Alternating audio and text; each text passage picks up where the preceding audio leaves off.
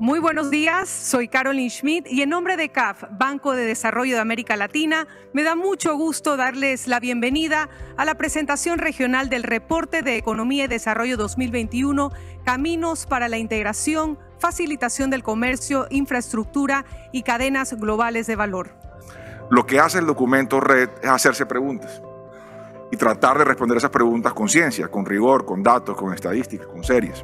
Nos ayuda a pensar qué tenemos que hacer hacia adelante. Y apuesta el documento también a dos cosas claves.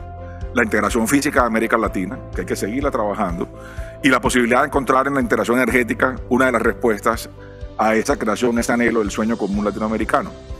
Desde las diferencias también se alcanzan acuerdos cuando el objetivo es el mismo y en nuestro caso debe ser el desarrollo para la supervivencia. Nuestros gobiernos han comprendido la importancia del desarrollo tecnológico, por lo que en general han invertido para propulsar esta área apostamos por soluciones regionales con una justa corresponsabilidad entre todos.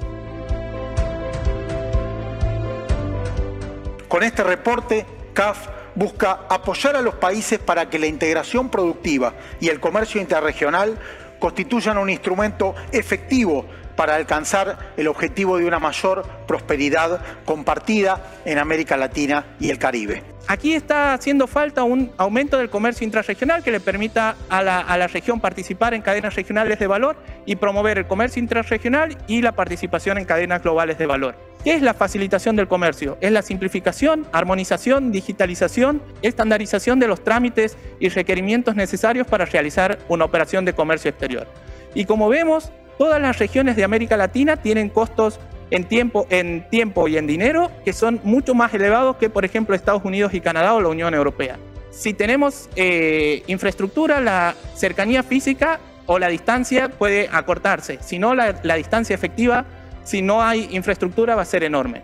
La mayoría de los organismos internacionales, y CAF en particular, ha, desarrollado el, el o ha puesto el foco en los corredores logísticos de integración, que es un conjunto de infraestructura que presta servicios a, las cadenas de valor desde principio a fin. La región ha avanzado a distintas velocidades en cuanto al comercio de energía. ¿Qué necesitamos para que esta integración energética se lleve adelante? Bueno, una es que la red de transmisión esté apta para esos intercambios y luego un marco regulatorio regional. La integración comercial permite a los países expandir sus mercados, promoviendo ganancias de especialización y economías de escala, impulsando la productividad y el bienestar en general. Y tenemos que amigarnos con la idea de que un cambio estructural involucra reasignación de recursos entre sectores eh, y cambios en precios relativos. Entonces tenemos que ser realistas en esto, que es algo que todos los economistas sabemos, pero que se cae de la, de la discusión eh, de, de la política comercial. La incertidumbre claramente no ayuda a las firmas, que al final que son las que toman las decisiones, que quieren integrarse en las cadenas de valor, a tomar esas decisiones. Al final quizás convenga no tener la política óptima, pero siempre y cuando sea estable en el tiempo, quizás eso sea mejor que políticas que generan más incertidumbre.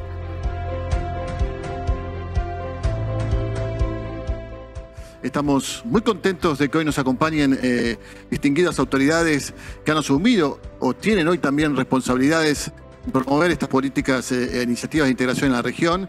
Y lo lindo es que tenemos representantes de los principales acuerdos regionales de comercio, ¿no? Tenemos... Los acuerdos comerciales eh, no son un fin, pudieran ser más bien un medio eh, para accesar a diferentes mercados. Lo importante es cómo cada país lo asuma y se prepare para ello. Los procesos de integración son los vehículos para crear las condiciones para el aumento del comercio y a través de eso lograr políticas públicas que puedan lograrnos un mayor desarrollo socioeconómico inclusivo que desde la perspectiva nuestra es un imperativo ético en América Latina. Pero un elemento muy importante para el desarrollo de cualquier cadena de valor es el tema del el valor agregado en sí.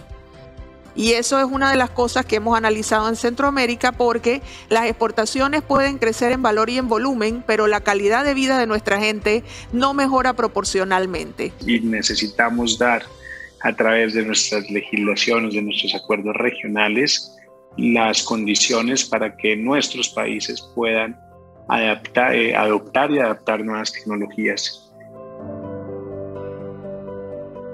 A mí me gustaría señalar, antes que nada, que no se trata solamente de una obra en materia de infraestructura física, sino que también tiene que ver en facilitar encadenamientos productivos que requieren una gran persistencia y un gran acompañamiento público-privado eh, de parte del Estado y de nuestro sector empresarial e ir al detalle. Un sueño compartido por dos países, pero que sin ninguna duda está en el alelo de toda la región. Y cuando el reporte habla de integración física y apertura comercial, no es una u otra, sino juntas. Y precisamente tenemos que ap aprender a caminar juntos en la, en la región para poder avanzar en el mundo.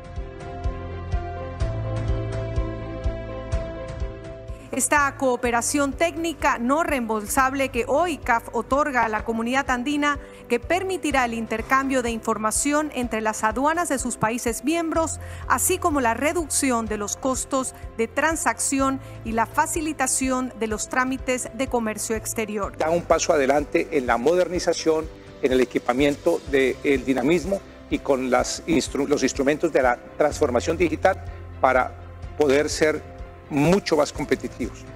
Trabajar en fronteras, trabajar en integración energética, seguir buscando la solidez de nuestras pequeñas y medianas empresas, facilitarles la vida, permitir que el crecimiento vía, las, vía el comercio, vía las exportaciones interregionales, le dé más esperanza y más prosperidad a la región. Con mucha paciencia hemos pasado de ser cinco países a 19, a prestar de 200 millones a 15 mil, en fin. Eh, hemos claramente demostrado que el tiempo nos ha llevado a, de alguna manera, tener la razón y a demostrar que CAF es uno de los experimentos, como dice el, el presidente Díaz Granados, de integración más exitoso de la región y que lo tenemos que cuidar.